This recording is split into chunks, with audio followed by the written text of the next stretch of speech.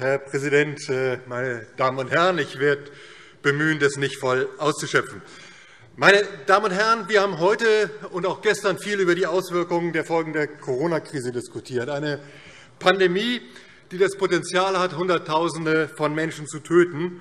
Und wir haben gezeigt, dass wir uns diesen Herausforderungen stellen. Und wir haben auch gezeigt, dass wir Wissenschaftler ernst nehmen und wir bereit sind, gewaltige Einschränkungen in Kauf zu nehmen.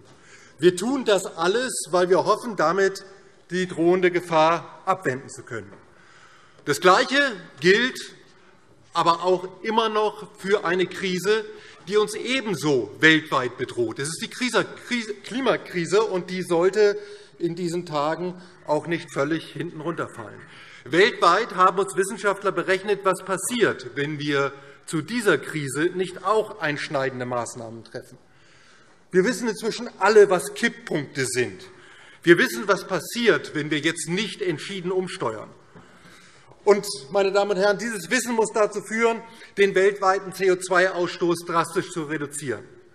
Eigentlich ist klar, dass wir dafür nur noch ein kleines Zeitfenster haben, unser Wissen auch tatsächlich in Handlungen umzusetzen. Und diese Handlungen müssen eben wirkungsvoll sein.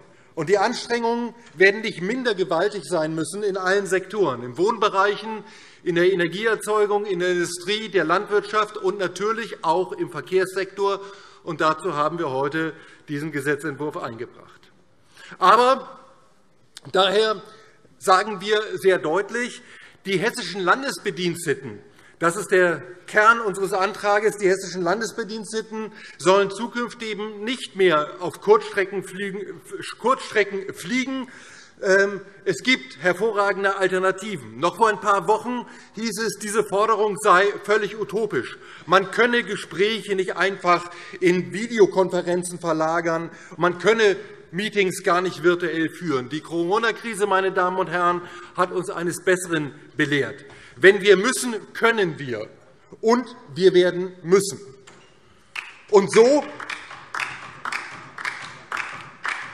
und so wie bei der Bekämpfung der Corona-Krise, wie wir es versucht haben, alle Infektionswege zu begrenzen, werden wir es auch bei der Klimakrise machen müssen. Niemand wäre hier auf die Idee gekommen, nur eine Sportart zu verbieten oder zu argumentieren, die anderen sollen doch damit anfangen mit dem Infektionsschutz oder der Infektionsschutz sei viel zu teuer. Nein, meine Damen und Herren, beim Klima erleben wir, dass es immer dann, wenn es konkret wird, bei der Braunkohle, bei der Förderung erneuerbarer Energien, bei der Stärkung des Radverkehrs in den Innenstädten, bei den Tempolimits auf den Autobahnen. Immer dann ist Ihnen die Wirtschaft wichtiger als der Klima. Aber, meine Damen und Herren, ohne Klima wird es eben auch keine Wirtschaft mehr geben, die gefördert werden kann. Wir brauchen eine andere Form von Wachstum, ein Wachstum, das eben nicht nach schneller, höher, weiter schreit, sondern ein Wachstum von Nachhaltigkeit, ein Wachstum von Bildung, ein Wachstum von Gesundheit. Das müssen die Maxime sein, mit denen wir aus dieser Krise herausgehen.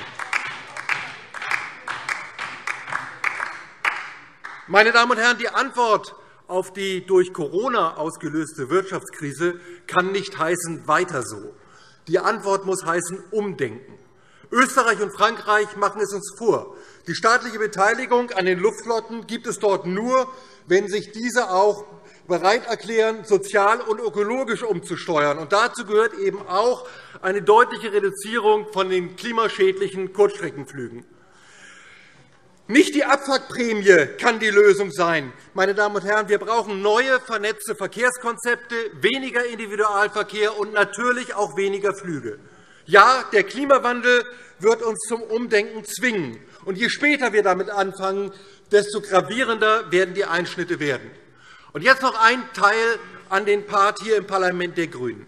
Liebe GRÜNE, an dieser Stelle, ich verstehe nicht, warum Sie bei so zentralen Themen Ihrer Partei, bei Themen, bei denen es wirklich um die Frage von Glaubwürdigkeit geht, sich auf so faule Kompromisse einlassen. Klimazertifikate werden keinen Beitrag zur Bekämpfung der Klimakrise leisten, und Sie wissen das. Mit Klimazertifikaten verlagern Sie das Problem, anstatt es an der Quelle zu bekämpfen.